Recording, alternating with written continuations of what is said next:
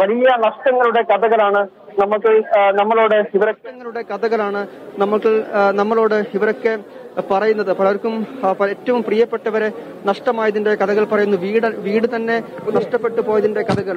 ഇനി എന്ത് ചെയ്യുമെന്നുള്ള വലിയ ആകുലതയും ആശങ്കയുമാണ് ഇവരൊക്കെ നമ്മോട് പങ്കുവെക്കുന്നത്. ഇപ്പോൾ നിങ്ങൾ ദൃശ്യത്തിൽ കാണുന്നത് ഇവിടെ ഇവർക്ക് നടക്കുന്നു അത് ചെയ്തു കൊടുക്കുന്നു അതിൽ നമ്മൾ ഈ കാലത്തിനനുസരിച്ച ഒരു ഒരു പുതിയൊരു കാര്യം കൂടി നമുക്ക് കാണാം.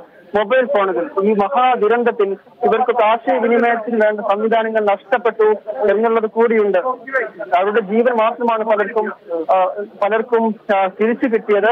ഉടുത്ത വസ്ത്രങ്ങൾ പോലും ഇല്ലാതെ ഈ ദുരന്തത്തിൽ നിന്ന് രക്ഷപ്പെട്ടവരുണ്ട്. അപ്പോൾ അവർക്കിപ്പോൾ അവരുടെ ബന്ധുക്കളുമായി സംസാരിക്കണമെങ്കിൽ ഒന്നും മാർഗമില്ലാത്ത ഒരു അവസ്ഥയുണ്ട്. അപ്പോൾ അതിന് ഈ മൊബൈൽ ഫോൺ നഷ്ടപ്പെട്ടവർക്ക് പുതിയ സിമ്മും മൊബൈൽ ഫോണും നൽകുന്ന ഒരു സംവിധാനം കൂടി ദുരിതാശ്വാസ ക്യാമ്പിൽ കാണുകയാണ്. അത് എന്താണ് ഈ സംവിധാനം എന്നൊന്നും നമുക്ക് ചോദിച്ചു നോക്കാം.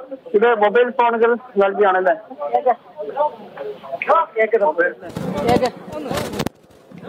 മൊബൈൽ ഫോണുകൾ ഞങ്ങൾ നാട്ടിൽ ചെങ്ങായി സാറിന് പത്തോളടങ്ങുന്ന ഒരു സംഘം ഫ്രണ്ട്സ്.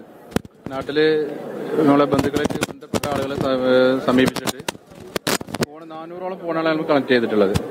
ഒരു അമ്പതിന്റെ അടുത്ത് ഫോൺ ഇവിടെ ആക്റ്റീവ് ഇവിടെ ക്യാമ്പിൽ വന്നിട്ട് നമ്മളെ സുഹൃത്തുക്കൾ വന്ന് ഇവിടെയുള്ള ആളുകൾ ഇതൊന്ന് കിട്ടിയൊരു അഭ്യർത്ഥന വാങ്ങിച്ചു ഞങ്ങൾ വന്നപ്പോഴാണ് ഇവർ പ്രതികരണം കണ്ടപ്പോൾ നമ്മളെ ഒരു നമ്മൾ കരുതിയ ഒരു മൊബൈൽ വിതരണം വളരെ മനസ്സിൽ വിതരണം വളരെ.